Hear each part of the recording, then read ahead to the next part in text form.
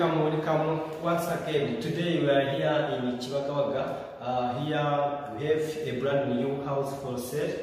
And uh, the modern house, it goes on 180,000 million Guadalifra or 180,000 uh, dollar USD, USD dollar. Uh, to the price. But if you you come and you check it out, it's the price is negotiable uh, for this brand new house.